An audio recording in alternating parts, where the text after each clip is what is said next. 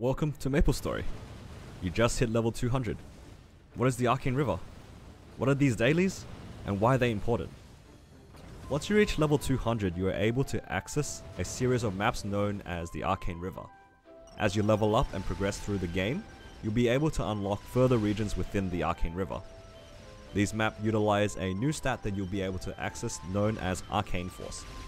You can see your current Arcane Force level here within your equipment tab. Each map that contains monsters in the Arcane River has its own Arcane Force level. If you have less than the required Arcane Force, you'll be doing less damage to those mobs and also take a lot of extra damage.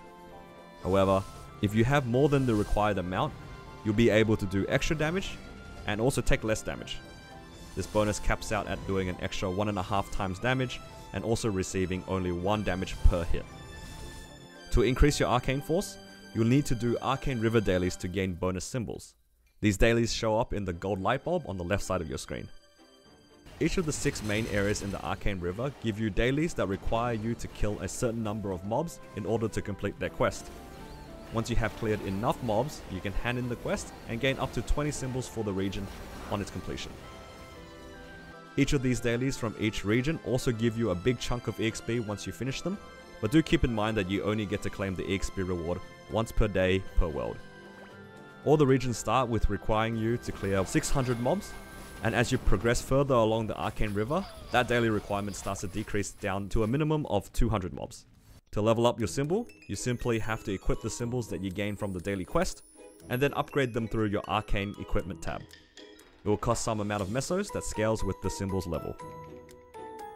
As your symbols level up, so does your Arcane Force, allowing you to have a better time in the areas further down the Arcane River. On top of granting you Arcane Force, each of the arcane symbols also gain you a big chunk of extra stat. At level 1, the symbols give you 300 stat and 30 arcane force. They all cap out at level 20, giving you 2200 stat and 220 arcane force each. Once they are all maxed out at level 20, you'll be gaining a total of 13,200 stat. You can also gain extra symbols from doing each of the region's bonus mini-games, they can be found in each of the region's main towns and can be completed up to 3 times a week for a total of 45 symbols. As you progress down the Arcane River, these will also decrease down to being completed once a week for a total still of 45 symbols. Arcane symbols can also be gained through participating in various events.